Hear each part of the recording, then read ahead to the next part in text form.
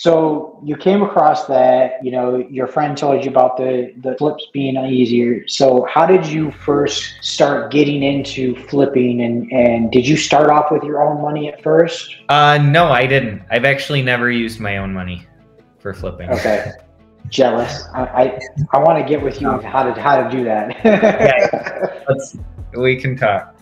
Yep. Um but the but yeah, it that kind of like opened my mind up to the concept. And because of that, like up to that point, I had always felt like flipping or other things, I felt like they were kind of off limits. Yep. Because I didn't have the straight up cash to just drop on a property, yep. you know. Um and so anyway, I I share that because I want to I want to see people more people starting with their first deal as a flip, you know, because mm-hmm. it's so doable. Um, But yeah, I so it was kind of a logical now, transition with how now, it, now real quick before everybody starts doing that i just want to emphasize this one thing i know you want them to go start off with a flip but i i recommend for people to start wholesaling before they flip and there's a yeah. there's one reason why. You get to know if you do it right and you start talking with your buyers and you start learning from your buyers, you get to know the the rehab costs a lot better. And that's well, where most people yeah. you get to know the areas. Yes. That's the key. Like yeah. at, at, least for me it, that was like once I once I found like it took me a long time to find but once I found where other people were flipping, yep. Then I was in business. Then I yeah. Then you start looking at higher quality deals where there's enough meat yep. on the bone to make some money and stuff like that. So 100% and that's where if you're a wholesaler just going through the motions, I'm going to tell you you are doing yourself a disservice. You need to talk to your buyers you need to see what their renovation costs are. Now, everyone's renovation costs are different because you may hire, you know, this a crew to be able to do all your stuff. Another person says, or uh, hire a crew with a general contractor. Another person says, okay, I just sub everything out, so now they can take the general contractor price right out. Okay, and then another person will do it themselves. It'll take longer but it's cheaper. Yeah. So the more you know exactly what things cost and what way you're going to go, okay, I think the better you become as a flipper, as a wholesaler. Um, yeah. All around in, in well, real estate. And something I'll say too is like wherever you start, those two paths, they they really look, especially at the beginning, they look pretty much the same. Yes. Because no matter what, it all starts with marketing. Yep. Because you got to find a deal. And by marketing, it doesn't have to be mailers, but I do think mm-hmm. like that's a really good thing for people to get their feet wet with and and start learning that wheel that world. Um, yeah. As far as getting into other paid channels, you don't have to start there. You can find deals for free, like on Facebook. I found yep. I found deals on Facebook. Um, One hundred percent. But yeah, it it really should look pretty much the same because you start off marketing, you get something under contract, and you know, just at least from my experience, what really happens is you get several things under contract. You don't get them closed, but you learn from each of those. Yeah. That was my that was my journey. Like I okay. maybe everyone's as slow of a learner as I am, but um, yeah. But it it took me a lot of like get them under contract.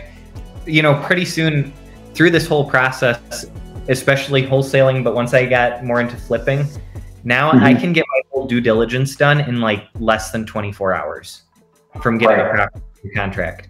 I can get my inspector, contractors, if I need subcontractors, like if I need to get a quote from mechanical, electrical, whatever.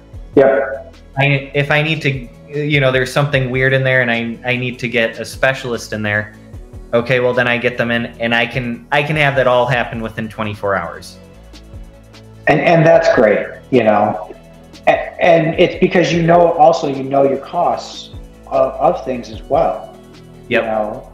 Um, yeah, that helps too. Is like I, I get yeah. better at estimating and stuff like that. But exactly. So that's the thing. Like as a wholesaler myself, and I come to you with a deal, and you know I talk to you like, hey, you got this flip. Okay, it's in in your general area as far as price wise. You know, we talk, and you're like, hey, I need to be. This doesn't work for me at your price, but I need to be here. You know. Yeah. Okay, great. That is awesome feedback. Okay. Yeah if I'm not getting any offers at the price that I want, then what I'm going to do is I'm going to go, I'm going to come to you before I go back to the uh, the homeowner or the seller, and I'm like, hey, if we if I get this down to this price, can we get a deal done? You know, yeah. I'm not going to get a. That's one thing I don't like about. I don't go to a homeowner or a seller and say, I need a price reduction without having a offer back backup. What I mean by that is, is I don't want to go to them with a price reduction and then have to go back two weeks later with another price yeah, reduction. Yeah, absolutely. You know, yeah. I say, okay, if we do this price reduction, we're going to close in two weeks or we're going to close in a week. You know? Yeah. And, and I think um, also this is for anyone out there that's either wholesaling or looking to wholesale. Right now, we're in a very interesting market. It's, I, I would say, most of the places where I'm at, um, the market's stable, but any flipper that knows what they're doing, they're discounting their projected prices, yes. like right now. Um, in fact, you should have been like a few months ago, for sure. Yeah. And so whatever when you're running numbers and whether you're a wholesaler or a flipper or anything else you need to be discounting them. Whatever mm-hmm. whatever the market's saying it's worth right now you need to discount from there. Like probably 10 yeah. to 15 percent. And then my, you build numbers off of that. Yeah my comps i only go back three months yeah that's it i i cannot go back further three months only if I have to go back further in order to find comps, then I, I discount and give them more. But what I try to do is my ARV with those, I try to discount at 10 to 15%. But I see deals from other realtors. I'll, I see them all the time where I get them in my inbox and and they're clearly pricing it like it's six months ago or more. Yep. And I'm I just I, I don't even look at theirs anymore. This is another reason why I've done this show as well. Is is to help educate as many people out there as possible. So yeah. with our group, with our Facebook group, you know, we have about 2,400 people now in the Facebook group. Um, and then I'm, I'm, just now building up my YouTube channel. So that helps. yeah. but, but, you know, I specialize in, and by the way, if anybody wants to JV with me or just get on a phone call with me and get, get my opinion on a deal that they have, um, I'm happy to do that. Give me a call, send me an email. My email is down below, um, scrolling. And, you know, I'm happy to give my opinion, but I'm going to be honest. I'm going to tell you whether I can sell. You know, it's very, it's a lot harder to sell something inside Detroit than it is Metro Detroit. You know, and I have to have an even bigger discount inside the inside the city of Detroit. You know, out of the Metro Detroit right now at this moment, there's not a lot of buyers inside Detroit because yep. they're trying to be risk adverse. Yeah. So, um, yeah, which is, which is interesting. I I guess I I don't specialize in Detroit, but I guess I don't I don't see that coming down as much in price as many other areas. but yeah. So, but I guess only time will tell. Exactly. And Andre Kingston says, I'm a realtor and I'm listening. I'm hearing what you're saying. So that's good. Keep it that way. You know, I always see the, the the comparative analysis that realtors want to hit, and what they do is they say, "Oh, let's try to hit that ten percent above that, and see if we can get that." And, and unfortunately, oh, yeah. yeah. if realtors, oh my gosh, if you're if you're flipping houses or if you're a realtor and you're doing this, if you have agents that are advising like, you know, here's what this is worth, we're gonna list it for five, ten percent more or whatever. Yeah this is not the market to do that. No. Like you a year ago, yes. A year if ago, you don't yes. if you don't price them right now, your deals will get crushed, and no one will even take a look at them. Because the thing is, is so, that like if I had, I'll tell you right now, if I had hmm. funds available to me to either do flips or do buy and holds, okay, like I could hit these on market listings and like cut it, cut the prices in half. Okay. Yeah. And I can guarantee you that, you know, if it's been on the on the market for more than 60 days, one of them is going to take it. Yep. You know. Yeah. The, yeah, you get, you yeah. get sellers that are on the market for 90 days and, you know, even like 30 days like people aren't people don't know what to do. Like you know, they're not sellers, used to it sellers have had amnesia like they don't they don't remember pre-covid days. I know. So like, and which i guess it, it works for us as investors on the buy side. Yes.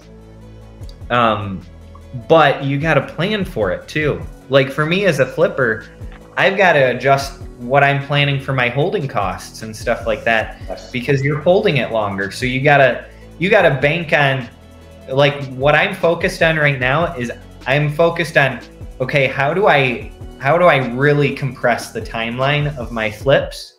Like my goal, and we're not there yet, but my goal is that all of our flips are listed within 30 days. Wow. And so that's Even what I mean. Big jobs? Like, Even the big jobs? We're minimizing big jobs unless there's gotcha. real big profit. Like see, I, see, and that's where buyers are at right now is they want carpet paint refresh and then yeah. list it and i so get that. if you want my buying criteria or if, if anyone else yep. wants my buying criteria I, i'm looking for properties that are median price point like 150 to 250 obviously some markets are higher than that. Generally below median in whatever whatever market it is, whatever that looks like. Um, but not too far below. Like we want entry level houses is kind of the bread and butter of what we're looking for. So you're looking upper, for the ARV to be at that price, right? Yeah, ARV to be 150 to 250 okay. generally. I I do still consider deals up above that, but I like I wouldn't I would be very hesitant. Like it would have to be an amazing to, deal for me to do something that has ARV over 400. Yeah, like like for instance, to break that 250, like you go in Royal Oak, you'll still get an entry level house yeah. for 300. You know. Yeah. So.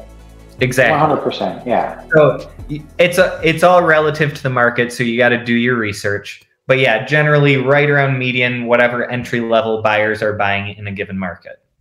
Mm-hmm. So, um, and then I'm also looking for smaller houses because the advantage of smaller houses square footage wise is that as as the square footage grows of projects you're doing your budget grows mm-hmm. exponentially gotcha so if you can stay like under 1200 square feet or so that's like mm-hmm. that's kind of prime time at least for me um, yep.